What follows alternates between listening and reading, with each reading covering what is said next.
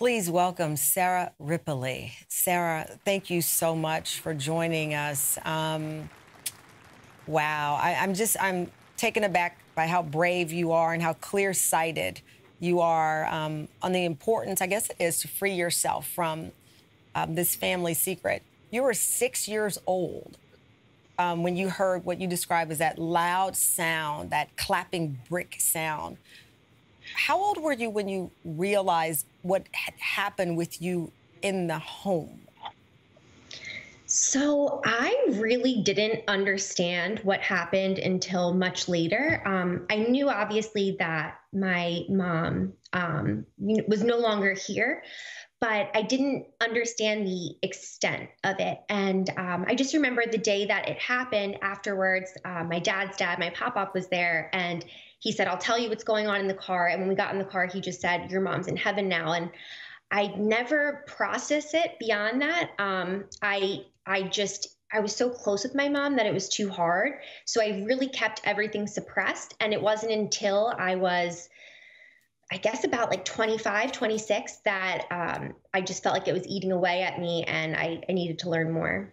You mentioned your grandfather, your paternal grandparents. Um, they painted a picture of your father that was entirely different from what little you remember. Um, was there ever a point that you doubted their ver- I, I, guess i kept reading the story trying to figure you're a six year old you're going to believe what the adults tell you but your mind is an incredible thing where you remember little flickers of the truth how were you reconciling that over the years so I think because I was just so traumatized from the whole thing, I had everything so blocked out that no memories were really coming in at all from my childhood. It was just, I couldn't remember anything.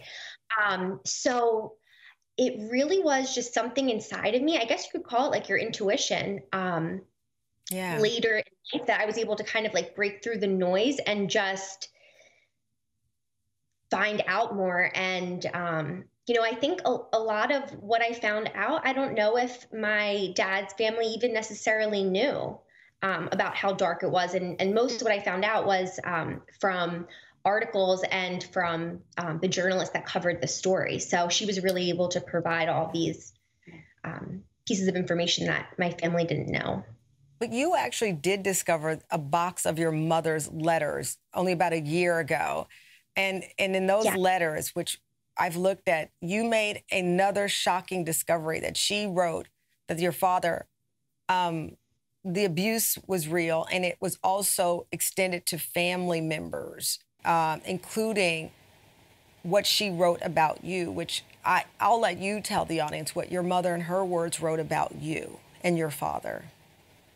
So, um, in March of 1998, my mom predicted her own death. She predicted how she was going to be murdered, everything. And um, in this letter, she wrote that my dad had threatened to kill her. And if she tried to leave with me that night, he was going to hunt and kill both of us um, and the rest of her family members as well. So she said that she therefore sacrificed her life to save mine and the rest of her family's. Um, and seeing that in her handwriting and knowing that he did carry out his threat to kill her, it was just so, I was so taken back because this whole time I thought that my dad loved me and um, never would want to hurt me. So it was really hard for me to process. When your mother wrote that letter, and, and you know my work with domestic violence survivors, that was the most dangerous point of the journey. Um, statistics show that when a person who is being abused is readying to leave, that is when the abuser often strikes the hardest because they have lost control. Your father was sentenced to 15 years. He's been out almost five years, and you've said that you've forgiven him, but you haven't spoken to him since uh, you were just 15. Is there any more to the family secret that you want to know? Or do you know all you need at this point in your journey? I mean, I hope I found out everything that there is. I hope there's not even more because it's just been a lot to really process. I kind of had to regrieve my mom's death. Um, I had no idea the extent of how horrible things were. Um, I don't know if there's if there's more information still, or um, you know, just what was kind of covered during that time period. But um, I never knew about a lot of things with his past before my mom, um, about his history of abuse with other women. So that's something that adds more to the story of this didn't just happen to my mom. This happened to his first wife. This happened to employees that he worked with. So he really had wow. a long history abusing women. As you can imagine, it's an incredible journey for her. And reading through news coverage, Sarah kept coming back to one name in particular, Jan Hefler. That was the investigative reporter who covered the case for the Philadelphia Inquirer. And Jan joins us now from Cinnaminson, New Jersey. Um, Jan, thank you so much for joining us. Listen, this case got a lot of coverage. Obviously, a murder in an affluent suburb. We know all of the things that the media will gravitate to with this story, but there was also something much deeper, which was that child who was in the home. Um, when you started to read the details, what you're a reporter, you've covered awful things, and we know people do awful things every day. What particularly um, pulled you into the deeper story here? Well, it was several things. The fact that the child was downstairs, heard the shot of, of her mother being killed by her father. That that's very highly unusual and traumatic, traumatic and haunting.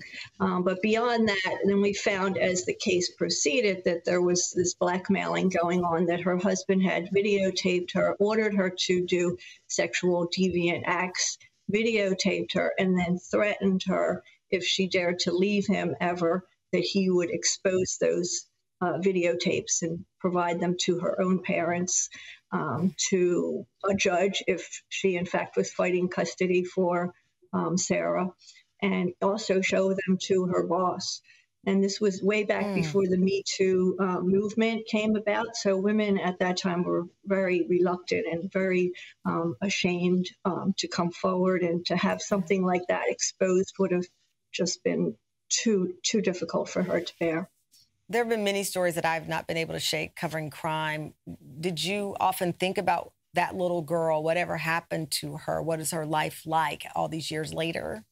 Oh, I often did because she was the only person, the only critical person that I was unable to interview.